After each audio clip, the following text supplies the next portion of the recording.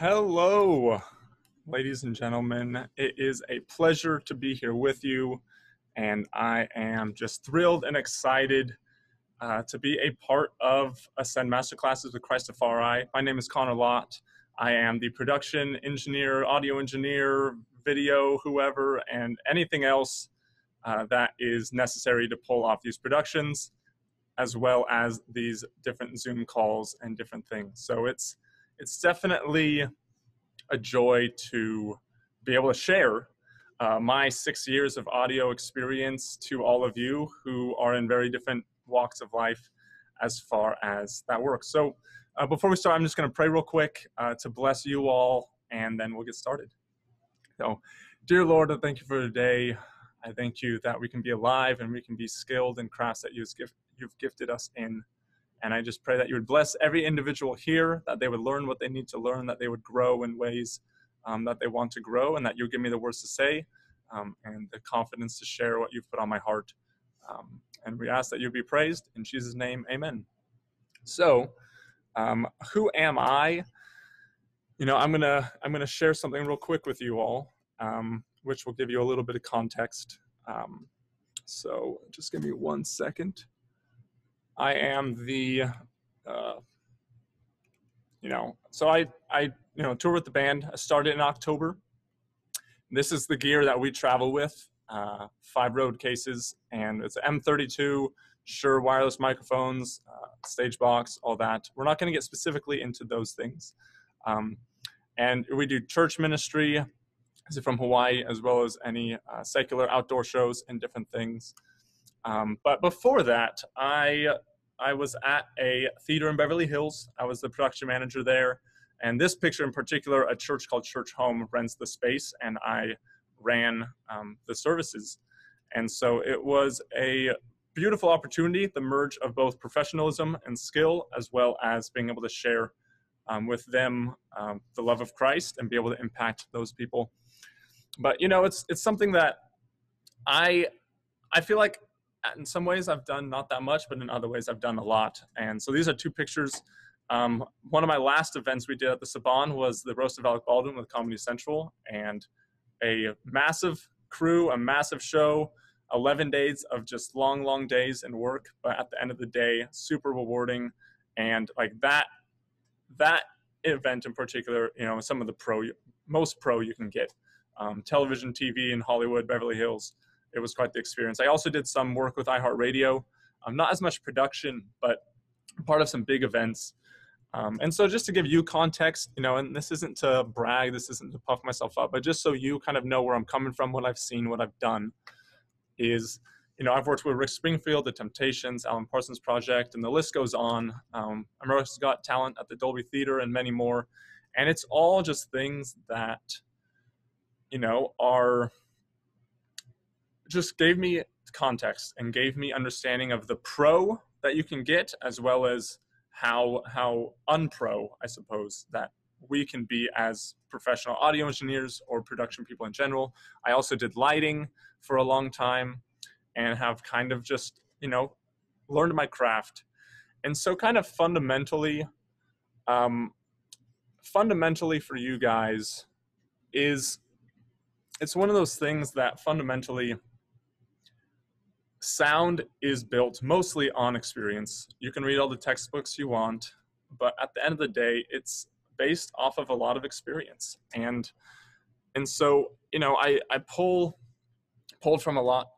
Um, but what I'm going to be teaching you today is six years. Um, I started in this church six years ago in the sound booth, um, just learning, curious, interested and now I'm touring the world and a part of some big events. And so, my hope to you in this sound engineering fundamentals is to give you the tools to be able to actually run a show, run a mix, and make things sound good. If you don't know the tools, you really can't, um, you know, do do well in certain regards. You you just, for me, for me, just uh, you know, I would stand back here at this console and I had no clue what I was doing. I'd push buttons and stuff and problems would happen.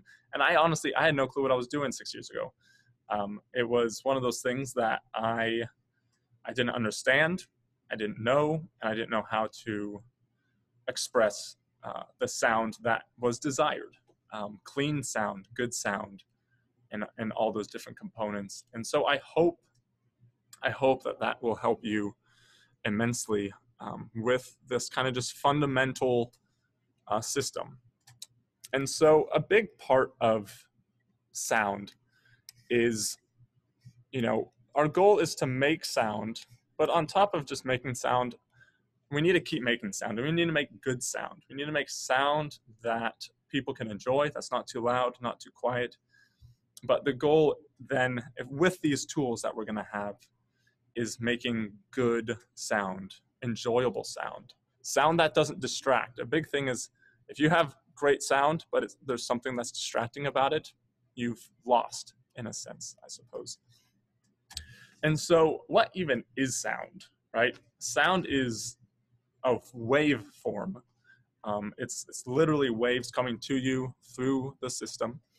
And I'm going to share with you kind of the, there's a full frequency spectrum that we can view, that we can see. And so I'm to I'm to share that with you right now using I, I'm using Pro Tools, but uh, it's it's one of those things that I'll be able to uh, share with you. Um, so basically, right right here at the top, um, this is just a sine wave right here. So I'm going to zoom in.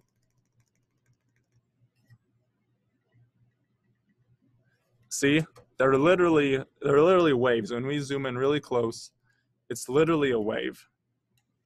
And so because of that, we have to understand how sound works within these waveforms. So you have 20 hertz to 20 kilohertz or 20,000 hertz, and that's our, our audio spectrum. That's what we can see. So we have individual control of all of this. And so for sound testing, just to give you an example, so here is the sine wave at a thousand hertz. Now this is a square wave.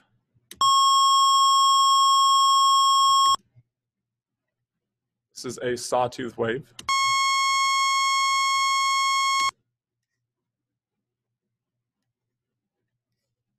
This is a triangle wave. And then this is something called pink noise. And this is something that professionals use that is a constant source so that we can do something called tuning a room. So I'll play it for you real quick.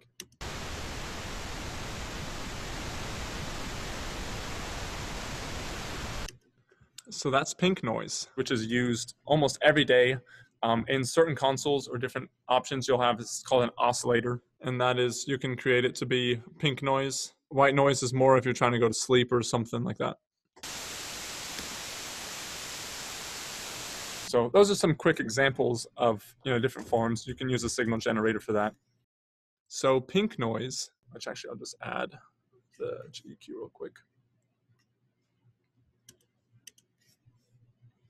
So when we tune a room, and I would do it in this full room behind me, but you wouldn't be able to hear it well and or see it.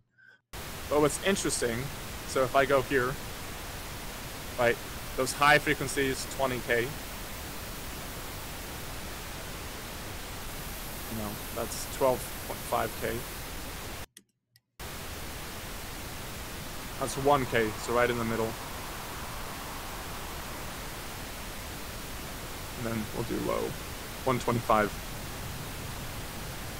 So what's cool about that, using an oscillator, using these frequencies, is you're able to actually like show what is going on and and when you're in a room when you're doing live production there's reflections so if you see all the little squares behind me so this is acoustic treatment because in this room it's more of a square. You have bouncing waves back and forth all over the place. All these waves are going.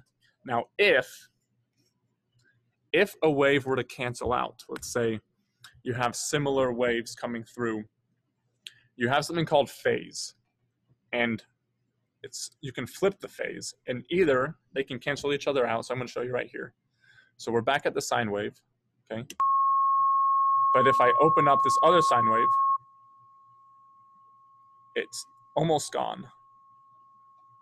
And it actually kind of hurts your ears.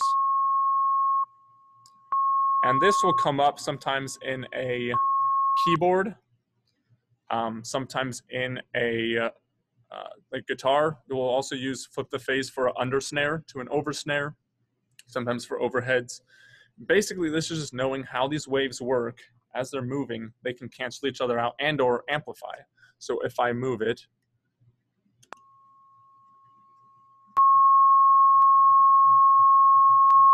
it's going to double as opposed to cancel out. So that's that's a very important thing to understand as as yeah, that's just how waves form. So when we approach sound, we have to fundamentally understand how waves actually are, how they look, how they work, um, which is important. And so, you know, from there, uh, I'm going to show you guys kind of a understanding of like signal flow. So when when we tune the room, then um, it is you know it's good to pick a song that you know. Once you do kind of the white noise, get a gauge of how the room sounds, then you're going to get an understanding of how kind of the song works. So I'm going to show you real quick uh, this is the song that I like to use a lot. It's called The Race by Yello. And so, oh, and also speaking of which, this song has really good panning with the with the car going across your headphones. So if you heard that, I'm going to play it again. But panning is a huge part of sound as well, but I'll get to that in a little bit.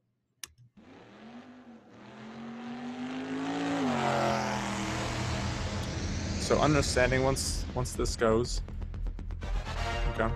So horns coming in. You can kind of hear that mid-range, a little bit of snare in. The toms, high toms.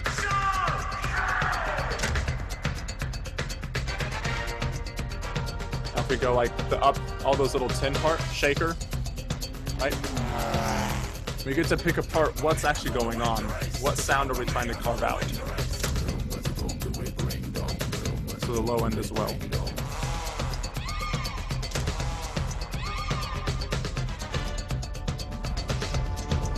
All this low end.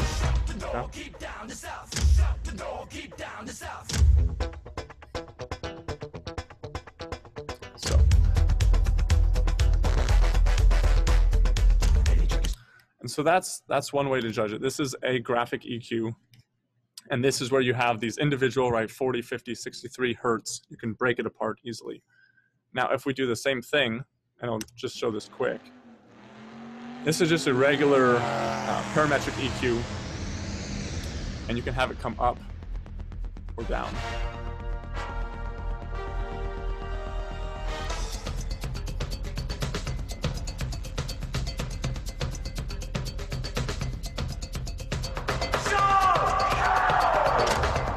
So it's, it's a little more condensed, and you can see what it's changing, or what it cuts out.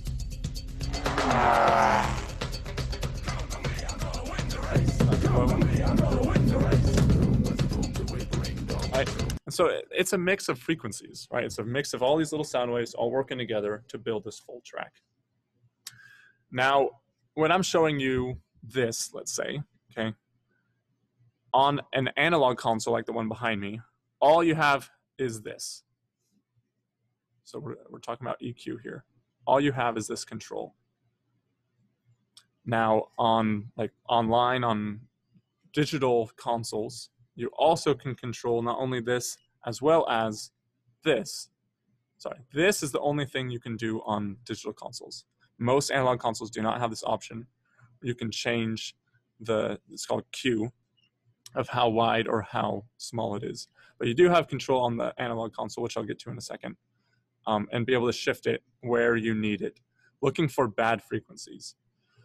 And so the concept of like let's say right bad frequencies or something is is we'll call it like muddiness, right? Something that's distracting, something that is very wah, wah, wah, or something else like that. So let me get back to this now. So, you know, when we're talking about that kind of range, kind of what's going on, you know, people can sometimes use Smaart to tune a room. Um, it's a, a, software that reads it. Um, and I'll show you a quick example of that. Okay. So it's it'll it, it kind of gives you all these frequency ranges and then you can adjust your mix you know something like this is not desirable. You're not going to want that. Um, and so Smaart is a great tool um, and these other tools as well work as too. Um, and so you know as we as we talk about sound you know now that we approach kind of right tuning the room if you don't understand this part of it then the rest is going to be very difficult to understand and you know you start at the top tune the room make sure your sound is good you have good power you have good source all of that. And then you can move on to the individual channels individual instruments. And so you know just knowing that you know we can't control certain things. We can't control the musicians can't control um, you know the lack of practice from a band but we have the ability to control mic choice mic placement and like the acoustic treatment right to have these reverbs and uh, acoustical uh, sounds not bounce and cancel each other out or cause muddiness in the room and so um, you know we're going to get to uh, I'll show you this just real quick. So, and then I'm gonna walk and show you like a little bit of mic placement, but this isn't a course on how to mic every instrument, that kind of thing. So I'll show you right now. So this is a full um, kind of signal flow chart, right? So you have an, a mic. You have a mic like this, okay? and this mic is going to go through the snake, through the patches, and get to the console, like this one. And then from there, you're going to be able to walk it um, to be sent, you know, from the console to the EQs, and then to the house power amps, and then out of the loudspeakers, like the ones right uh, there, if you can see that. So that's just kind of a, a basic understanding. And so now with mic placement, okay?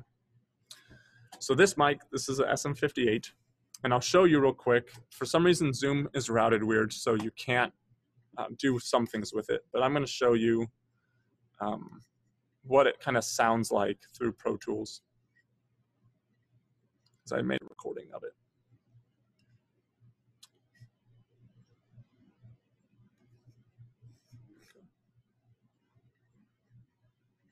Okay, so this is a S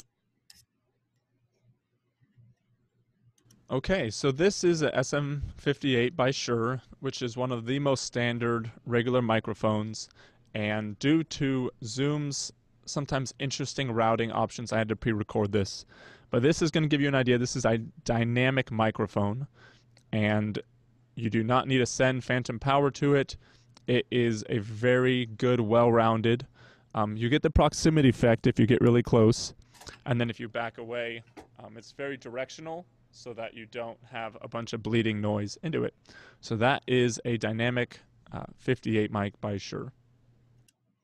Yeah, so that explains it, and it's it's used everywhere. Um, and so now the next one I'm going to show you real quick is a 81. So I'll play that track. So this mic is a SM81 by Shure, and it's a condenser mic, different than the dynamic, and it holds a voltage of 48 volts in order to function and work. But it also has a high frequency focus and is mostly used for like cymbals, hi-hats, and other uh, specific instruments, sometimes uh, carefully used on guitar amps or other uh, instruments. And so just know that if you have it too close to an extremely loud noise, you're going to damage your mic. So just being careful and aware of that. And yeah. Yeah, so those are kind of the two main ones, dynamic condenser. And when we talk about mic placement, right, with the 58, you have the proximity effect. So when we're talking about like, let's say, right, you have drums, let's say my hand is a tom, right, depending on if you have it pointed at where the person's hitting the tom or you have it right kind of at the edge, it's really using your ear and trusting your ear with mic placement of what sound are you looking for, right? If you're looking at a guitar cab, do you want it right in the center of the cone or do you want it on the edge of the cone? For the kick drum, do you want it right at the hole or do you have maybe a kick in and you stick it inside? For the kick, do you put maybe a uh, rag or towel in it to kind of diffuse some of the resonating sound within the kick drum? Do you put tape on the top of a tom to stop some of the resonating? Um, and really knowing, you know, every microphone has a different frequency response. Like I said, with the 81, it has a little bit higher, higher frequency response. And so it's really knowing what mic are you using and how do you place it. And sometimes it's going to take moving it around, testing it, or if you don't hear something correctly coming through, making sure that it is um, coming through clearly. And the key is you can EQ, you can compress, you can do whatever you want, but if the microphone is not in all the way, or if the microphone is directed in the wrong place, the goal is to have the best sound starting at the microphone. When you think about that signal flow chart I gave you, you need to have it be a clean, good signal, and and that's that's the best way to do it. Um, and so, you know, with that, when we look at that clean signal, then you know it is treating it a different way, and and right before I get to gain, EQ, compression, all of that, two quick pro tips that literally could make you lose a job in a pro setting. So one is, okay, I'm gonna show you with this mic stand.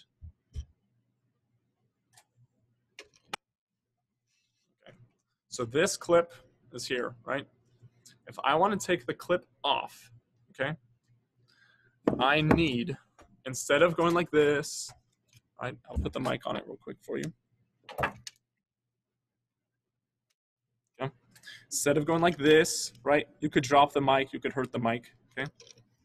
You are gonna want to undo the um, kind of pull here, and you're gonna turn with, with your hand, you're gonna spin that. So your mic is in grasp, and you can take it on and off without having it fall. Um, when I first started out, dropped a couple mics. It's not something you want to do. So that's pro tip one. And that will save you a lot of energy and time later, promise me. And this is called the over under with XLR cables. And this can literally cost you a job. Um, people ask, hey, can I help cable, uh, help, you know, clean up? Do you know over under? If they hesitate, they don't know it, and if they don't know it, do not have them help. Because if you go like this, this cable is going to be a tangled mess when you try and pull it out again, okay? So what you're going to want to do, and you can look at videos more specifically if this is too quick, but you're going to go one over and the other one twisting it underneath and trying to kind of have an even loop. See, cables have memory, so they will literally hold memory in them. Over under, over, under, over, under. So then when I drop it, it all just flows seamlessly. If you have now a 25 foot cable, you can get away with it. When you start having 100 foot cables, you're going to be in trouble. So please, this literally could cost you a job, but it also is going to save you time and energy when you start wrapping hundreds of cables after church, after a show, volunteering somewhere this, even with like little charging cables and stuff, it literally revolutionizes the way that you can function within productions and within just your home with with your TV cables. Get a little bit of tape, wrap it, and then also, so I'll wrap this up real quick. If you don't have one of those little Velcro bands to tie it up, um, those are going to be the safest, cleanest.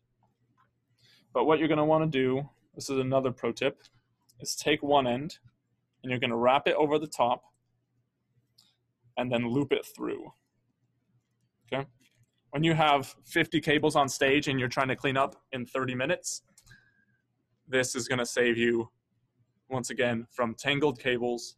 So those are three pro tips that I hope will change your life when it comes to just cleaning up a stage, putting away your gaming device, having a power extension cord, right? Don't ever do the the um don't ever ever ever do this with an audio cable.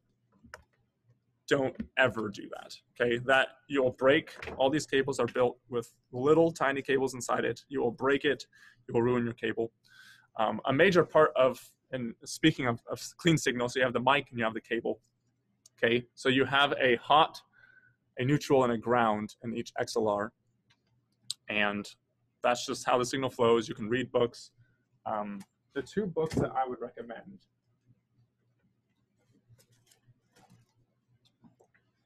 are one is called Modern Recording Techniques. Okay. Oh, this is flipped. Um, sorry. Let's flip it real quick for you guys. Okay. Modern Recording Techniques. And then the other one, Sound Reinforcement Handbook. So these two are massive helps for like really the nitty gritty of all this stuff. YouTube is also a great resource. And and so really, you know, it's it's one of those things that's gonna literally revolutionize your life.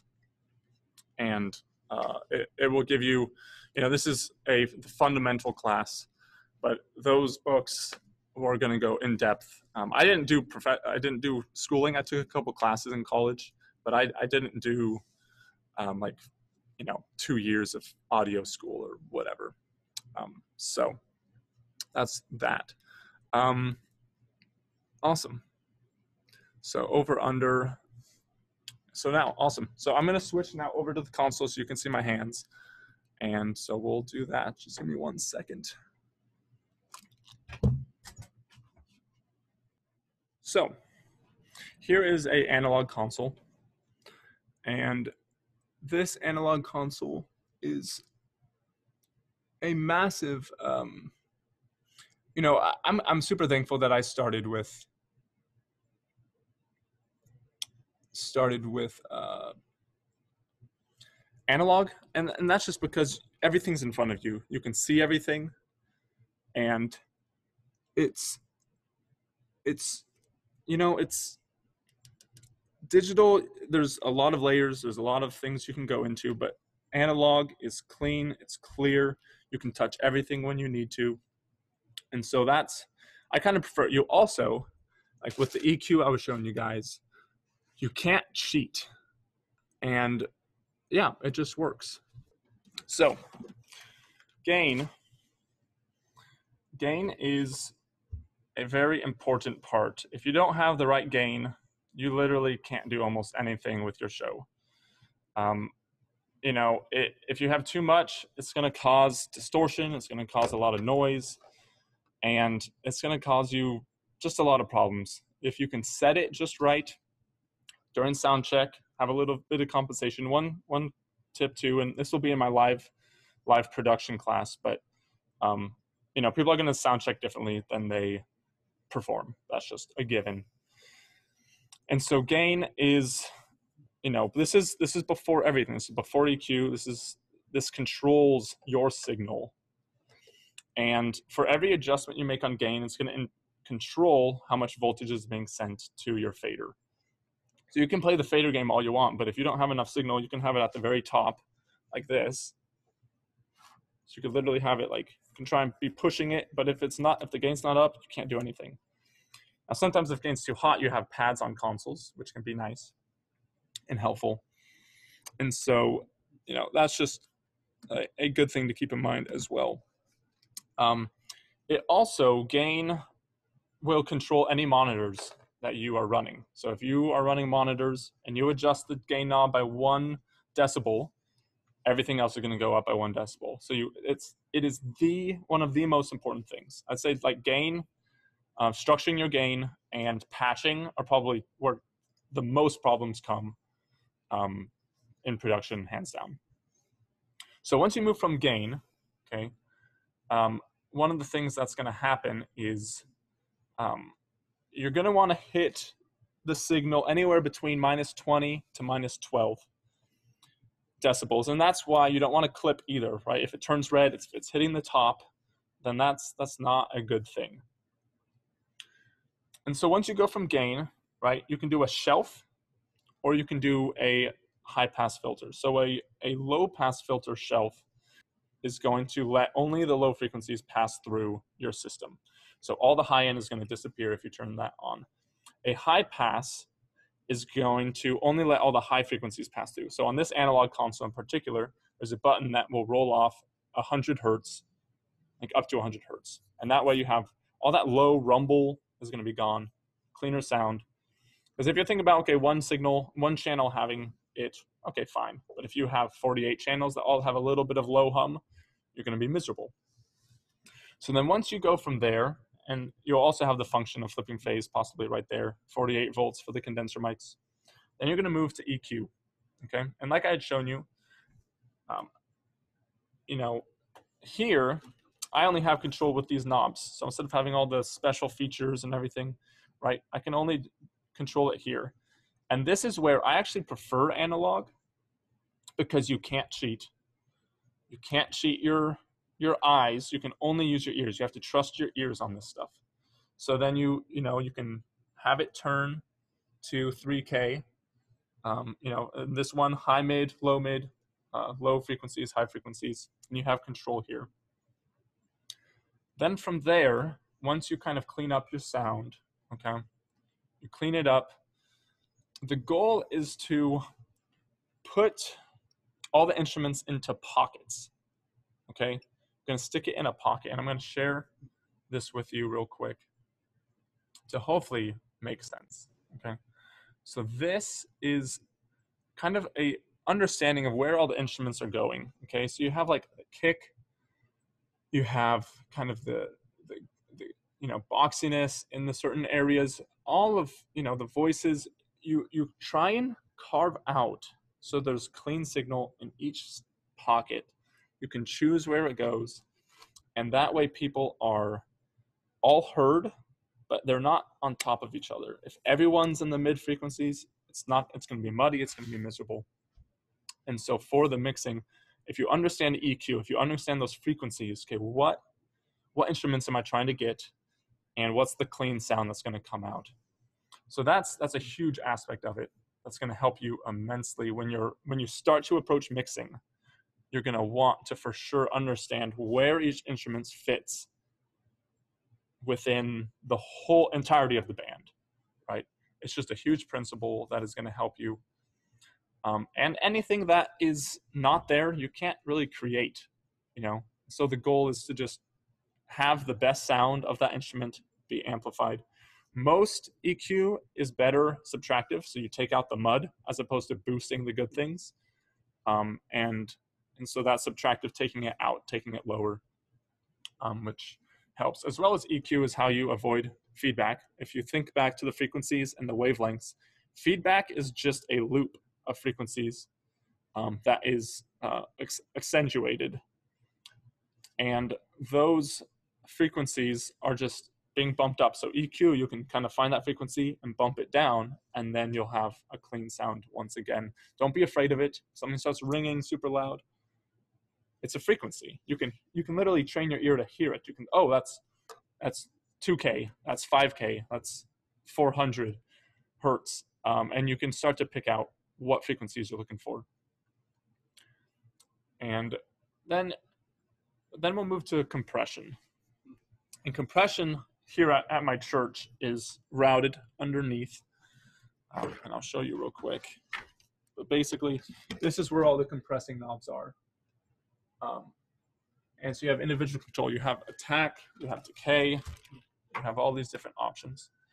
So I'm going to show you real quick um, with Pro Tools kind of what compression specifically does.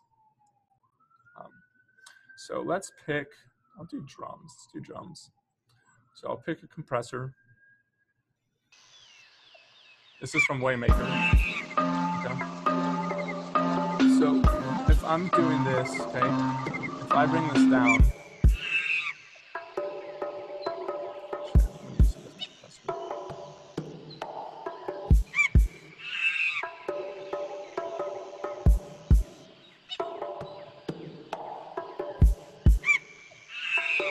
Okay, so right here you have a knee, attack, gain, ratio. So the ratio is going to adjust kind of the size of where you're going on that end. Attack is how quickly the signal starts to get compressed. Release is how long it's going to hold. And threshold is where it's going to compress it. So if I have the drums here, you know, I can bring it down and that signal is going to be compressed. This is where you get a lot of distortion potentially. And so you can compress that or bring it up, right? I can have a higher ratio, lower, soften it up, quicker attack, knee. And this is basically trying to take signal that's super hot and super low and kind of bring it more even. You know, with a kick drum, if it's going, you're gonna want it to sound the same. You're gonna want it to sound continuous. Um, and so that's that's a huge part of compression. And now on drums, you can also do a gate, which also my church has. So if I do this gate right here, okay, change where I'm going.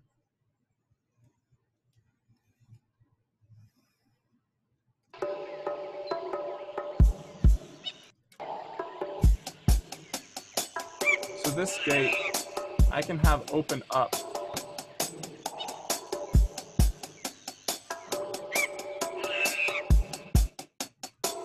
right? So if I want to cut out some of the sound and just have the hi-hat, right? It's going to be able to cut through. Everything else is going to be gone. And this allows you to have isolation. So any ringing, any ringing in the toms or the kick, you can really isolate that sound and not have there be a long um, tail to the sound.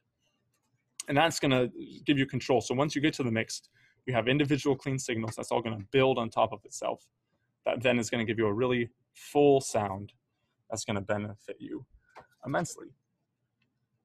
So, you know, and if if you overdo compression, it's noticeable, but it's also going to really, you know, put you in a hole because then you're going to figure out, okay, why why do I not have enough signal? Um, especially if you do like recalls on digital consoles, you're going to not be able to have um, the right uh, you know, the right signal coming in. And um, you can also like increase gain depending on the compressor, you can increase the gain. So if you compress it heavily, but then increase it, then you're able to bring everything more together rather than low or high. And so kind of the, one of the last parts of the chain are you know, you have compression, you have EQ, you have gain, and effects is going to give you the space. You know, and there's going to be some space, right, in a big room, maybe a you know a cathedral or something. You're going to have a lot of just natural reverb, a lot of natural effects. But if we want to make, say, the drums sound a little bit fuller, fatter, say a voice sound fuller or further away or, or whatever, um, all those things are going to be vital to to it. So I'll show you effects real quick. And I'm going to use Avion's quick focal on Waymaker as well. So this is her voice. Uh, yeah, this is her voice raw. Okay. You are here, moving in our midst. I worship you. So now this is with a heavy reverb.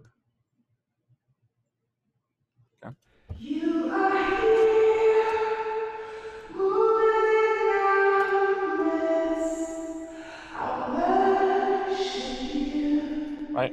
And that you could do a whole masterclass on just like effects and reverb, hundreds of choices, halls, plates, um, you know, a million different things. I encourage you. Um, you know, there's plenty of great resources uh, in different places for that.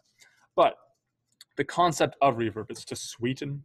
Some ways it can cover up mistakes, but it also it gives you depth. And you know, in recording, it's super important but it's also really important in live because a voice or a drum or something can be really, really dry. And so it's really important to understand that that you can do that. And the way you would send a reverb, something called aux sends. Okay, so I'll move back down to the console. Okay, and the aux sends are right under on this console in particular, but it'll say something about aux AUX, and you control how much is being sent. So, and if you look over here, so there's faders right here. Barely see that. Okay, so these are in this console, but in any, you can route them anywhere. Is it's a certain amount that you're sending to the session. Okay, so you're sending it, but you can send how much is then being sent to each individual channel. So if I want a lot of it, right, I can turn it up and then I'll get a lot of reverb. If I turn it down, I won't get as much. Um, I just quickly on Pro Tools put it on the channel, but normally you would bus it like this. So you would send it through. And whether it's digital or whether it is um, physical, like this console, it, the routing is the same. It goes from the channel through the aux and and then um, well, it's going to go through yeah through the channel and to the aux and from there then it's going to go through the main left and right or whatever other send whether it's you know the aux send to the monitor mixes um, or different things like that. And so that is a huge part to sweeten to improve and to help enhance the mix. And so like i said my next class on ne- next tuesday at 5 p.m is on live production. We're going to run through sound check we're going to run through what you need to know input lists and how to just run and put together the whole production. So that's a huge aspect of what I'll be covering. You know, I can't get to that um, right now. You know, and the goal, you know, once again, right, is clean, clean sound. The goal is understanding. You can play with all these knobs, but if you don't understand, and I hope that you understand now what these knobs do, EQ, the wavelengths, all these things, they all build. Because if you don't know what you're touching and why you're touching it, you know, it's it's really not going to be as beneficial as it could be. And so I do really hope that it's this has been beneficial in a lot of ways because these are things that I was never never explained to me. This was not explained. I just kind of had to figure it out and that's just kind of a basic quick rundown of kind of what is important in regards to sound. Um, and you know, I was working with John Mayall, and his engineer was saying, you know, like with EQ, for instance, you know, you can learn all you want in school, but it doesn't matter how it looks. It's the sound you're looking for. So training your ears, listening to good music, um, listening to good mixes, listening to and watching videos on good engineers, and really trying to kind of use um, use that. So to kind of before we get to the Q and A, which I know is is um, you guys, I'm sure have some good questions. I see that there's six right now. Um, you know, I'll show you. Um, this is a very I, I worked with this band and we, we they played it live, which was great. Alan Parsons Project, and um, they have a song called um, "Sirius," and I'm gonna play for you, and I'm gonna show you kind of what's going on mix wise. Um, so just give me one second. And I'll share this screen with you.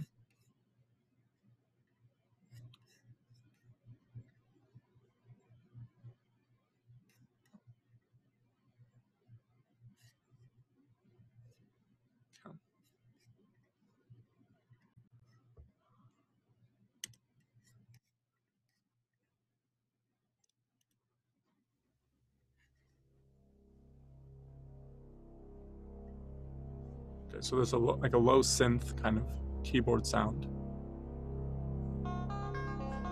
So guitar kind of popping up right in here, right?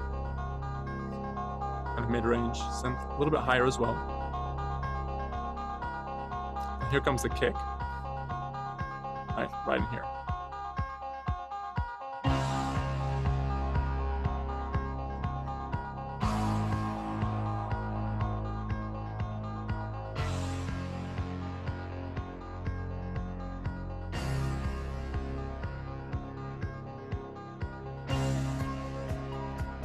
Popping in. Right, you have the hi-hat up here.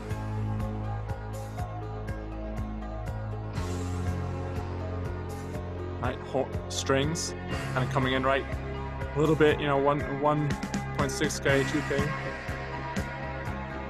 Guitar a little bit lower than that. Right here. Keyboard's still going. Right, but everything is so clear and crisp. So Alan Parsons, he mixed, he was one of the engineers on Dark Side of the Moon by Pink Floyd, one of the most iconic and well-produced albums ever. Um, amazing. It was one of the best, best mixes at the Spawn Theater. So now you just have the guitar going. Right, kind of right in here.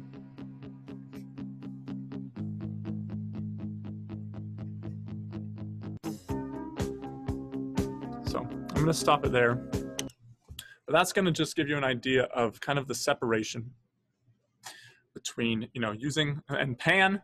Um, I guess I didn't cover pan again, but basically pan is just you have a center and you can either go to your right ear or your left ear, like in the example of the race, right? The car zooms across your headphones. So all of these principles, effects, pan, uh, you know, gain, EQ, all of them are building to this uh, result of a good mix, which we'll get to next session. But yeah, that is it. And and just quick to tell you kind of why, you know, the verse that has kept me through all of this, all of the production I do, everything is Colossians 3, 23 through 24. Whatever you do, work at it with all your heart as working for the Lord, not for human masters, since you know that you will receive an inheritance from the Lord as a reward.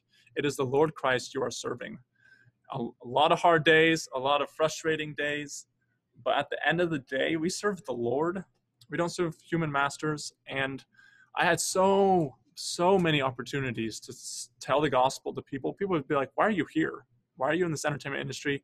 There's some dark stuff, people on drugs, people doing different things. But I worked for the Lord. When people were lazy and when people didn't want to work, I was working. Why? Because I worked for the Lord. And you're going to come across really hard things, but it's important to know that we work for the Lord. And for any of you who don't know Jesus, I respect that. But I would encourage you to consider who he is. And if, you know, even though this is about audio and stuff, you know, I serve the Lord first and foremost. And a life under his lordship is the most important thing you could do. You could be the richest man in the world, but a lot of people that tour and are rich on the road are miserable. So with that, let's start this Q&A. Um, awesome. So uh, Angel difference between pink and white noise, it's just kind of a different frequency range. Uh, white noise, though, is a little bit more. Uh, actually, I'll, I'll, show you real quick. Um, again, the difference, and it'll kind of give you an idea. I believe, uh, yeah. So let's let's do white noise. Let's share sound real quick.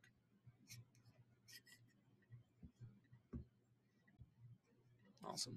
So here's white noise.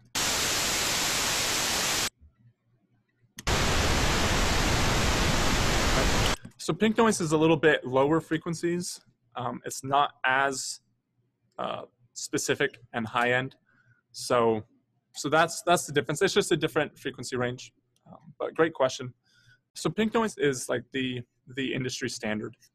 Um, so multiband EQ was a freeware plugin. Um, it depends what you're using. So, you know, the ones that I was using, the multiband um, I believe when you talk about multi-band, I'm not sure if you're talking about graphic or parametric, but uh, you know, it, it, depends. Most Logic, Pro Tools, Digital Performer, all are going to have a basic set of default plugins uh, for EQ. But if you want, I have Wave plugins as well on my Pro Tools. So if you need that, it's uh, um, yeah, that's just kind of the way way it goes. Um, Ingrid, why do some boards have high pass and others low pass? Most, if not all, have at least a high pass, uh, like this console, because you know something like a vocal, you don't need the low frequencies. But the high pass will be used maybe a little bit for bass, maybe a little bit for kick drum. Um, it just depends, but it's just to kind of let all the low frequencies pass through by having um, a yeah having having the low frequency pass. Um, I hope that answers your question. Um, Ivan, great question. Do you recommend using a gate for vocals? I would not. And the reason I say that is if your singer has a large dynamic range, that they are, they potentially could sing underneath your gate and then their voice is going to cut out. And that is something that is not desirable when um, concerning, you know, a, a, really intimate moment. And for you to have to live adjust the gate, compression should do the job. Um, but I, I think I've accidentally had a gate on before and it, it's caused problems. So, but uh, really important question. Uh, Christopher, how hard is it to live off of doing sound and how do you get to where you produce for any bands or shows, big or small? Hmm. That's a great question, Christopher. I did it because there's a need. I started doing it because I saw a need that was around me. Most people don't do audio, most people don't know audio. So a lot of people need help. And I got into a lot of opportunities because I did lighting as well. So I would do, you know, uh, busking lighting for bands that came through the venues that I worked at. And start small. I worked for a nonprofit in my hometown that did little library concerts, learned from there. And, you know, it's really, you build a reputation. Uh, one thing that I highly recommend, you know, try and keep your temper down, be respectful, be uh, generous, uh, use your time well, be be clear, and if people like your work, they're going to call you. They're going to get your number, or you get their number. They're going to call you for events. So it's really just taking the time to do the hard work, to work when people aren't acknowledging you, to work when you're not getting a thank you, but instead, you know, getting getting the work that needs to be done. And it's hard it's really hard sometimes when you have bad clients or different things, but you never know who is connected to who. And at the end of the day, you know, sound actually does pay pretty well. Um, if I wasn't working with Christafari, there's another company that offered me some tours that pay substantially. Touring is where the money is for the most part. Uh, I am a missionary of Christafari, so I actually don't get paid for any of this. Uh, me and Justin have been producing all of these master classes, and you know we're not getting paid. We're getting paid by donors supporters. And so but it is a very lucrative business um, both when i was a production manager and doing freelance stuff. You know you can do one-off gigs and get paid substantially especially if you're in a union depending on where you live. And so it's hard but it's rewarding. And there's tons of opportunities graduations weddings shows you know tons of stuff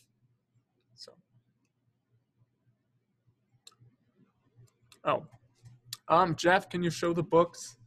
Um, Sound Reinforcement Handbook and Modern Recording Techniques. Uh, I'll write it in so you have it written. Um, also, guys, um, I'm going to send you all my personal website. Uh, and I haven't had time because of Ascend yet, but I'm going to have all these resources available. So if you go to connorlott.com and submit your info or email me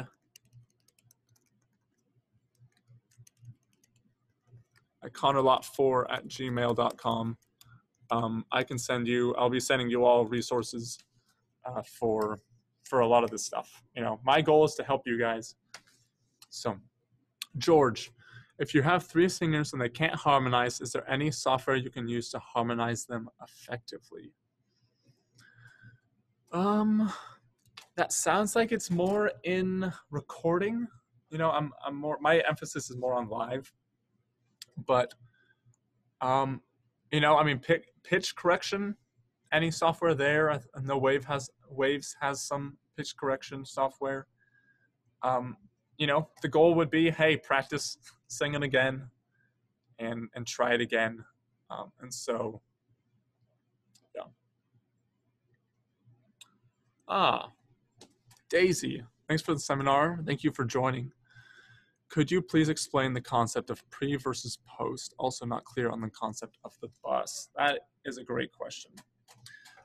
Um, so, so pre-fader, post-fader is normally, but you can also do pre-EQ, post-EQ. Basically, back to kind of how signals routed. So if I have pre-EQ, I'm EQing the signal, and then it's being heard and or it's it's outputting somewhere. Post would be I have a raw signal and then I'm sending it. So like let's say I'm doing the live recording here and then I'm also recording multi-track. I could do pre EQ so that both the room and my recording is getting the EQ or I could do post so the room hears it but my recording is actually no EQ on it and that will save you from certain post-production issues because you're going to EQ the room differently as you would a like multi-tracked mix. So that's that's definitely one thing to keep in mind. The bus, kind of think of it as like a literal, I, I suppose, bus. Instead of having 20 people walk somewhere, you can take all those 20 people, put them on a bus, and then the bus gets to the destination. So you can do like bus EQ, bus EQ or bus compression. So you have you already have everything EQ'd, but then you can send it to a bus and have individual control. On here, um, these are um, different like I guess uh, buses that you have individual like kind of volume control for lack of better words, and you can have everything routed um, by selecting where it's going in the bus and it gives you just independent control in a group more so rather than individual channels. So how can one balance a lapel mic? Ooh, that is a good one. Um, a lot of lapel mics can cause problems, especially if you have a monitor in front of you. My recommendation is with a lapel mic, make sure to check it walk around the room, walk around, you know, kind of what you're doing, talking loud, talking quiet. You know, you're going to have to EQ a lot. Definitely are going to need a high pass filter and find the certain frequencies that are problematic. And most likely need to use both the parametric and graphic EQ.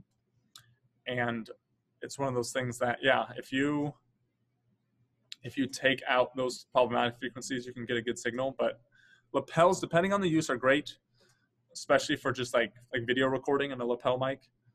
But otherwise, the the lapels can cause issues. So it's just finding that happy medium between compression, between EQ, and not having it in monitors or the such. From Javier, sometimes it's hard to determine which frequencies to boost and which ones to hide. Do you have some advice on this? Uh, back to kind of the diagram I showed with each instrument kind of has their specific uh, frequency range. You know, kick is going to be low with a little bit of high for the beater. I would just say be familiar as well as, uh, you know, really to, you know, I know, you know, I, at first think instead of being overwhelmed by every frequency, is it 2K, 5K? okay, is it low, mid, or high? Narrow it down from there. And you call it's called like EQ sweeping. So the sweeping of the EQ is you go across and back and forth to find those problematic EQs. You can do that during a sound check. During live, it's a little bit harder because it's obvious what's going on. But at the end of the day, uh, you know, it's it's one of those things that you can find those problematic or good things by sweeping through and hearing what is is best. And Jeff, do you know any good tutorial apps? I will say, depending on the use, uh, is the one one that I use. There's a few. So there's one called SoundGym. So you have SoundGym, I'll flip it again.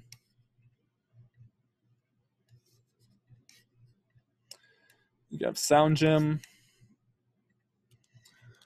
Uh, you have like white noise Quiztones is great as well.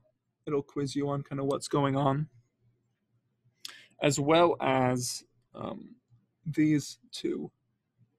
So audio tools is great. You have to pay for that one, but these are all a bunch of different apps that I've found helpful.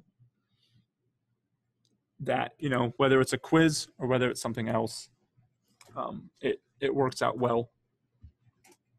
So that would be my, my recommendation. They've helped me. I hope they can help you. Ooh, compressors and gate for vocal. What is the best configuration? First off, uh, it, it depends. I wouldn't use, once again, I wouldn't use a gate for a vocal personally. Um, you could use limiters for the podcasts if you've heard those where it's on a power hour. I use a light limiter when I was recording off the iPad, and that would allow kind of everything to kind of sit right in the middle, whether they got quiet or, or loud. Best configuration is is I mean, depending on how it's routed, normally it's going to be post. Uh, oh, and actually, speaking of that, but back to the pre and post, you can also do pre and post fader, which will, um, like for monitors, for instance, you might want pre or post fader depending so that when you turn up the fader, um, it's not affecting the monitor levels, especially if it's in ears, something like that. Post and pre is huge there as well. But the best configuration, you know, really using your ears, but not compressing it too hard, too soft, and having it, you know, in Pro Tools, having it attached and getting the right level you need. If you're recording, also knowing what compressor you're using to record into so that possibly you can print it and it's going to be even and you don't have to do any post work to a degree.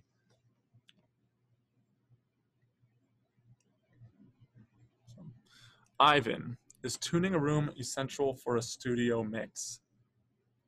No, and that's just because it's not being it's not live anywhere. I would hope that the monitors or head, headphones you're using, mostly monitors, um, some sort of you know stereo uh, speaker system in the room is you know it's that should be level. There shouldn't be any adjustment there. And then you know you're not playing it for an audience. So the room noise you're you're trying to isolate noise in that case and so that is an important thing so no you wouldn't need to tune the room but just make sure that everything is, is properly I guess tuned. Make sure that your your speakers in the room are good, so that you're not hearing something wrong whenever you're recording. Um, one, when you start with your own rig equipment, do you start calling with a session that you made before? Great question. So for Christafari shows, I made a starter page, and you can do this with digital. You can do it in a church. You can do it in a show. But starter pages are massively helpful because you can make all these extra EQs and compressions and all this stuff. And then the next show start from scratch again. And you have to relabel and do all this stuff. But if you know your input list, if you know what's going on, you just press recall and then you start from a good starting point, good levels, good gain, good EQ, and then you work from there depending on the room. So yeah, starter pages are really, really important to have quick uh, shows. I even did it at the theater. I'd have starting pages for new clients and, and different things that came in, but that's massively important. How would you have your sound setting in a building that is under construction, roof quite high, walls not completed, place a bit windy? Um, that's tough. sound is going to be going all over the place for that, but at the end of the day, just know try and make it sound the best you can. Uh, it's not something that it's going to be easy.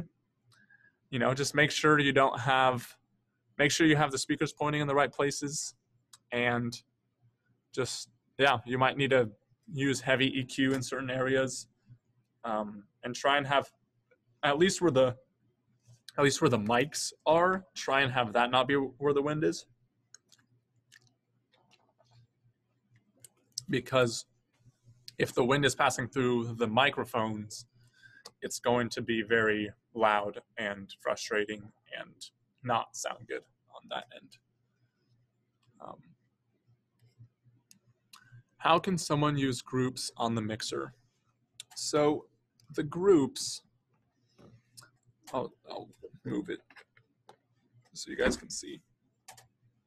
So the groups you have like right here, right? So I can select these groups right here. And that's what I'm going to send to these subgroups over here. And so basically, right, if I have 40 channels, I don't want to have to, you know, move every individual thing. If there's a guitar solo, I want the stereo guitar mics to come up together. If the drums are getting a little too loud or there's a solo of some sort, right, turn up the whole group and yeah, it's just kind of knowing what you want to group together, grouping background vocals, grouping maybe like keyboard, synth, uh, you know, bubble. Just making groups so you have easy access. Uh, from Tim, any pointers for analog boards? Um, I'd say there's limitations. There's for sure limitations. But at the end of the day, you know, know what you need to do with the analog board. I, I, guess just get familiar with where all the buttons are for quick access and make sure you know where it's routed. Make sure you uh, are getting clean signal. You know, some of the analog boards can be a little more, some can get dirty if they're older. And so just making sure that it's clean, you dust what you need to. Other than that, um, yeah, some some of the routing can be a little funky, but just make sure, you know. Also, I mean, the knobs are you know small enough, and you can't reset easily. You know, I mean, they used to do with analog consoles, you know, with touring groups, they'd have to go in and change. So there's diagrams that you like make a little mark where they are. So if you're like training people on them, or a lot of people use it to have some sort of whether a picture or a diagram of where your knobs were, because someone could walk in and move them all around and you wouldn't know, uh, and wouldn't know where they were previously. So I hope that that that helps. Um, when turning your room, tuning your room, isn't necessary to turn fix the volume level in the first place? You use a special mic for that purpose. Um, I would say when tuning your room I mean, it depends on the level, right? Some sound checks you can't go above 70 decibels or something. So, you know, have it at a, a decent volume, but you don't need to blast it. Uh, there are special mics. I I could send them. I don't have a picture or something right now, but there's like really high fidelity mics that are pretty expensive, like for Smaart, for instance, that will capture the round the sound the room sound at a very good level. And so that is something that is uh, very important to your room. Uh, but the volume can change. It's just a matter of trusting your ear and knowing that it is correct um, at the end of the day. So, and George, yes, there is another class. And I will put it, you guys can register right now, actually, um, with this link. So my live sound class is, next week on Tuesday. So you guys can actually click that and register right now. It should take you to another page. And that is going to be like the ba- you know how to run a sound check, what you're looking for, how to direct the people on stage, uh, how to troubleshoot. Tons, tons of good content there uh, but this, once again, was the just fundamentals. What what even is all this stuff we're using, and using that to be able to create live sound. So that is that is what's going to be happening on that end. Uh, Daisy also asking what uh, what is a crossover? It's a great question. Uh, back at the Saban, uh, a crossover basically is in some ways a safety net and a way to control kind of what's going on. So if you have the loudspeakers up here, right? All of those are being go into a power amp that's powering them on. So a crossover allows you to you can mute and monitor and you can see what the levels are going from your console through the crossover then out to your speakers. And so the crossover is is just that extra little safety net for processing. If you need to do an EQ at the crossover, you can. You can adjust gain. You know, if people were gonna play uh, our venue too loud, you could go up to the crossover and adjust it and bump it down a little bit. Um, it just gives you a, a specific control between the console and the loudspeakers you're using. So,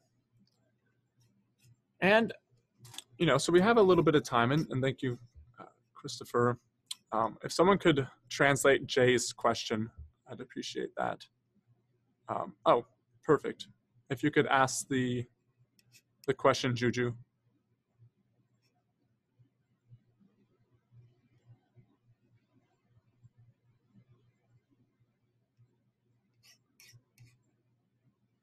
So while I'm waiting for that, you know, so we have a lot of good classes coming up as well that are going to be good.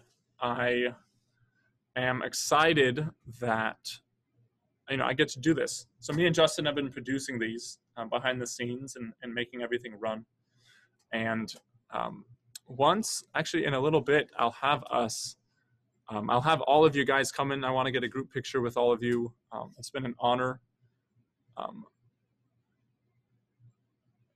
Um, okay, another question came in, but uh, yeah, it's been it's been a pleasure and exciting thing. I'm happy that all of you have been a part of these master classes. So Jennifer's asking, I'm getting a massive white noise or hiss from my second channel amp when I boost the volume on. How can I minimize the sound? Does that have to do with manipulating the gain? It's a good question there's a few things. Um, it depends. It depends what the second channel is. If it's an input, if it's an output, or if it's more like a phones or something. And it sounds like it's probably something with the amp. You know, if you turn up the gain and you get more of a hiss, then you'll have more of a hiss, and, and that's understandable. If you have you know, if the gain's less and there's still a strong hiss, it's going to be more possibly it's a bad cable. Maybe you have dirty power. Uh, maybe maybe the like the guitar, um, like with the bass, one of the basses we use with Christafari. I think the jack is there's something wrong with the jack.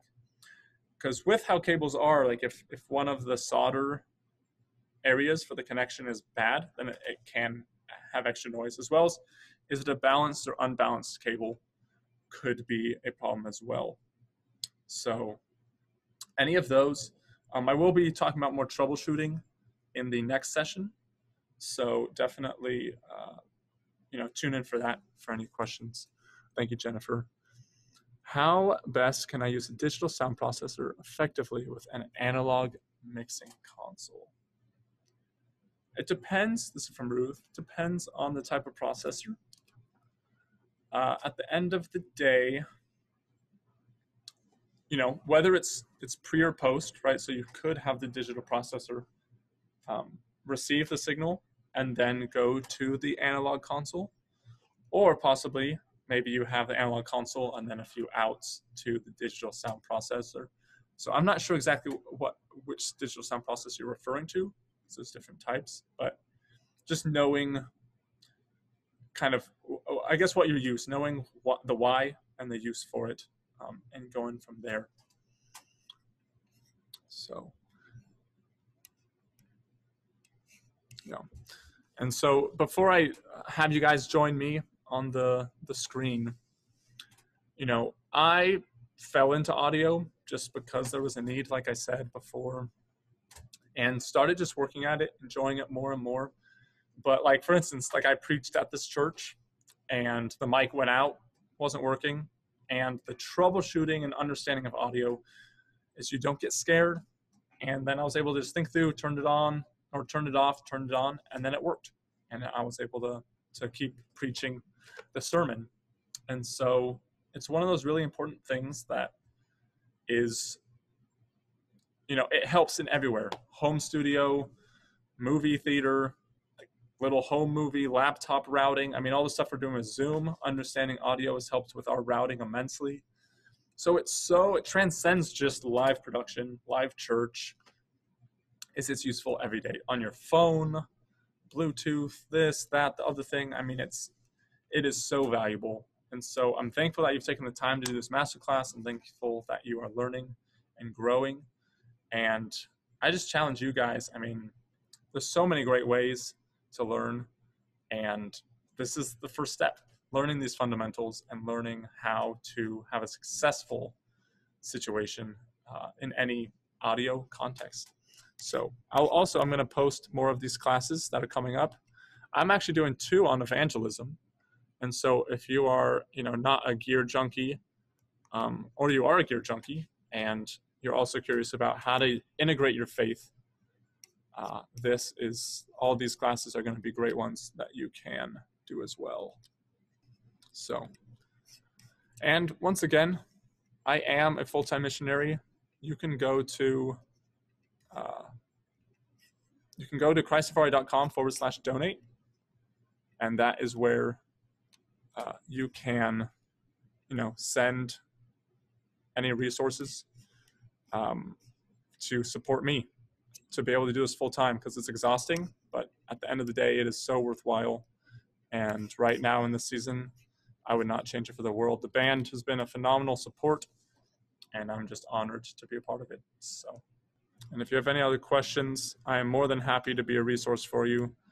I am based in uh, the Los Angeles area, and it was a blessing to grow up here around entertainment and just expose yourself watching videos different things you know but also be mindful i'll i'll, I'll share with a, a story you know so i was i was doing a load in for a band tesla and that band was a you know rock band i found out the lead guitarist his dad had died or has gotten a bad accident so he was really distraught and my boss had told me, "Hey, um, we need someone to you know chauffeur." So they put me as a chauffeur for this band. You know, so he comes in and he he gets into my car, and he he's in a hard spot, and I'm just praying to the Lord, like Lord, I want to tell this guy about God. I want to tell him about who you are, how he can be loved. You know, this is secular drugs, alcohol, sex, all this stuff, touring life and he just opens up to me. He's like, "Hey, you know, you're you're similar to my family, my son, and I am, you know." And he just opened up to me, and I didn't feel right because I was an employee and different stuff. I was like, I don't know if I can just tell him about Jesus. And then he gave me his number so I can go pick him up from the hotel. I'm like, perfect. So I can pray for him through this. So after the show, the next day he leaves, he gets on the plane, he goes, he opens up and I text him, hey, look, I don't know where you're at spiritually, but I believe in the power of prayer and I believe that God loves you and cares for you. And because of that, you know, that he can, uh, you know, meet you where you're at and support you. And because of that, he said, Wow, thank you so much. Really appreciate it. And it was just one moment of, you know, I, in a secular industry, in a secular show, the Lord uses us where we are at. And it's a beautiful thing when you know, when when we really are in tune with God and we know that we're working for the Lord, not for human masters, that no matter what's going on around us, we can walk with integrity, we can walk with strength, and we can preach the gospel. Tons of employees were like, Why are you here? And then I literally would just speak the whole gospel. And not a lot of them received it, but just the opportunity for me to do that. And now with Christafari, I mean, I get to preach the gospel with the band. I got to preach on stage in Thailand. And there's just so many great opportunities that I have had to to integrate this passion of both um, of sound and production and music as well as uh, my faith because it it changes my whole world. It's not just compartmentalized in, in different things. And I guess too, especially like for people who are doing sound in church, also knowing the right attitude um, to have, you know, and sometimes we'll mess up and, and do different things, but at the end of the day, you know, it's really, it's really important. So definitely looking forward to being in touch with you who I don't know. And for those I do know, I appreciate you coming out and joining us for this masterclass. So I really hope it's been valuable. Um, for any specific questions, join my live production class. And then after that, if you have any specific questions, I can get to that. Well, God be with you guys and super appreciate you. We'll be in touch soon. So cool, cool. See ya.